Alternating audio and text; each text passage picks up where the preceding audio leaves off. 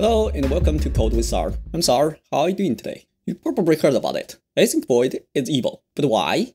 In this video, we're going to explore the reason behind it, and why it's not 100% avoidable. And toward the end, I'm going to construct a solution with you so that the async void could be used safely when we have to use it. Let's take a look at the simple case. This is an empty console application. I'll start by creating an async void method. It will delay for 100 milliseconds. And then output the message drop down. Then I'll call it in main method. After that, let's uh, output a message. And let's run it. We see in the result there's a hello from main, but there's no job is done. That is because there's no await on async job. And the whole process quits before the async job is done. So this is a problem one. You cannot await in async void method.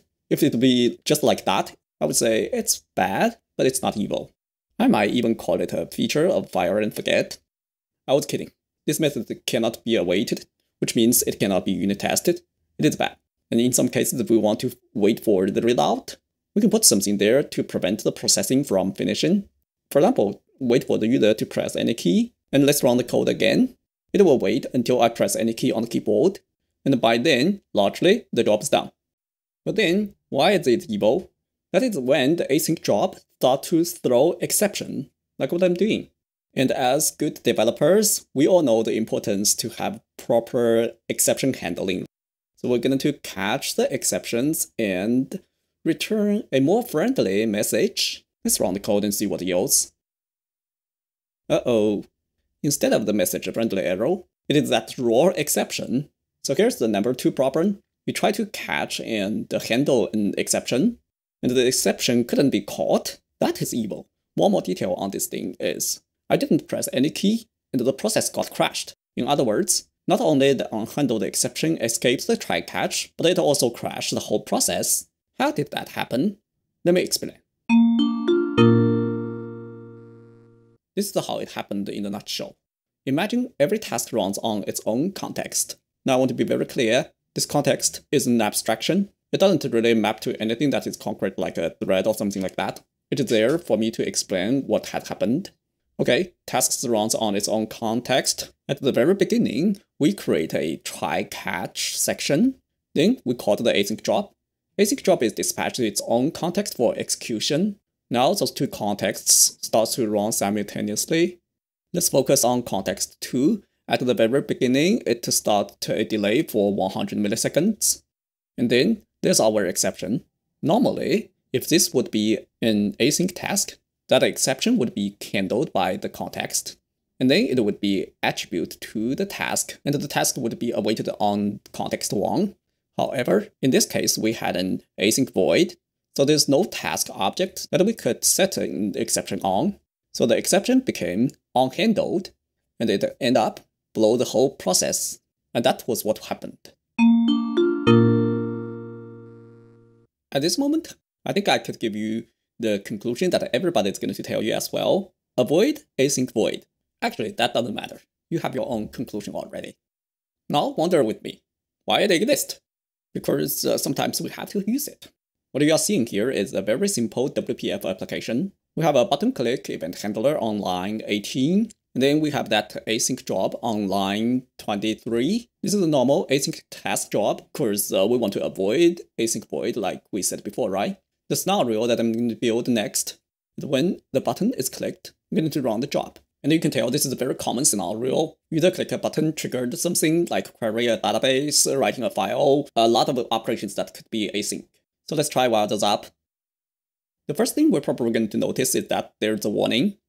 Reading the description, because this call is not awaited, the execution of the current method continues before the call complete, and then it's suggested to add a wait in front of the call. Okay, let's follow the lead. By adding the await, we got a narrow back. It says await can only use in an async method. Yeah, so button click need to be async, except we cannot really do that. Otherwise, we break the signature for button click handler. Check this out by yourself. There you see the compile error. Button click has the wrong return type, so we have to change it back to void. But we still need to deal with the error or warning on async job. Watch out this moment. Without experience, we might get desperate and fall into thinking it was just a warning for await. Let's change it back and just call it a day. To that, I'm going to say, don't do it, don't do it, and don't do it. I said it three times because that is very, very important. Don't do it. And I'm sorry, I'm going to do it to show you why. I'm going to remove the await. I'm going to show a message after we call the async job. I want to explicitly point out on line 27, there is an exception. The async job is not going to be successful. Now let's compile and run the code and see what's going to happen.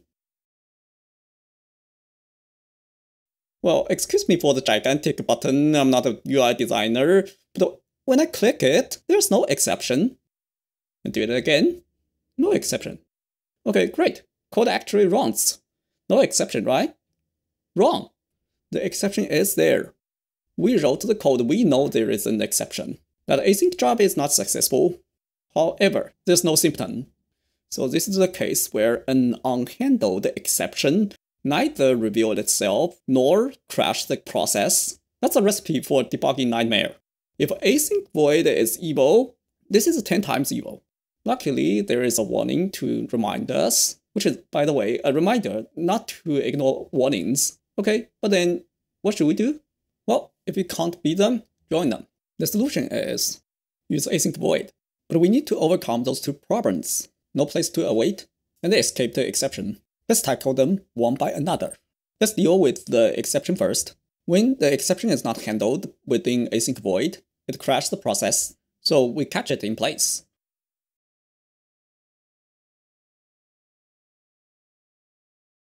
Once we have it, we need to decide what to do.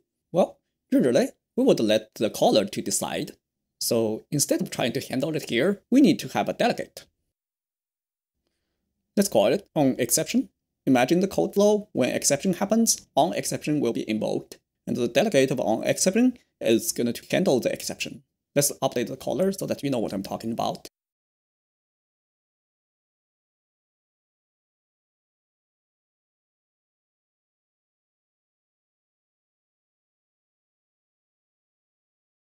Now let's see how it looks like.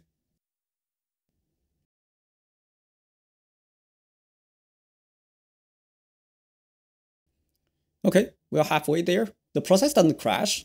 We know there is an exception because of the error dialog. Along with the error is the async job is called message box. That is the part that I'm not satisfied with. I want it uh, when the job is done and there's no exception. So let's update the code again. Although we cannot wait on async void, we could use another delegate for async completion. And then it becomes just a matter of uh, passing on the onComplete handler.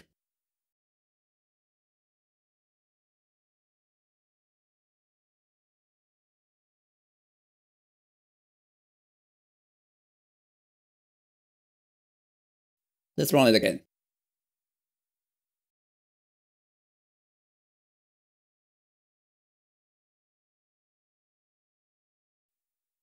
What you are seeing is when there's an exception in async job. Let me comment out the exception and try it again.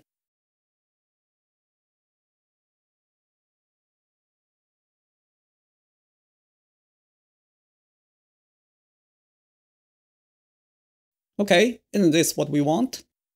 I mean, async void, but we still know when it succeeded or failed. This works, but I'm going to show you how to make it better. Let's review the code. In order to catch the exception, we made async job async void, and then we put that gigantic try catch catches everything and uses delegates to handle completion or exception, right? We actually introduced two disadvantages. First, thanks to async void, async job becomes difficult to test. That's due to the same, uh, you cannot await on it. Secondly, this won't be the only method that need to be called by a handler. Do you want to make every one of them async void? Probably not. So I'm going to show you how to improve on those. The idea is to separate the error handling and the task by itself. So I'm going to firstly restore async job to async task I'm going to call it async job 2 temporary to avoid naming conflicts.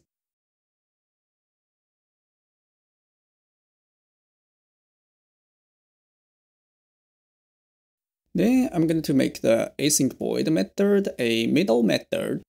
This one runs a task, handles exception, but it doesn't need to know what the task really do. So a task would become a parameter.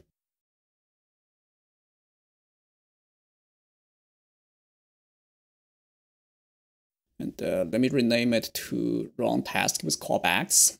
Let's update the caller. With this run task with callback in the middle, we don't need to convert every async task method to async void. It shares the logic for error handling, and it runs well. Let's try that out.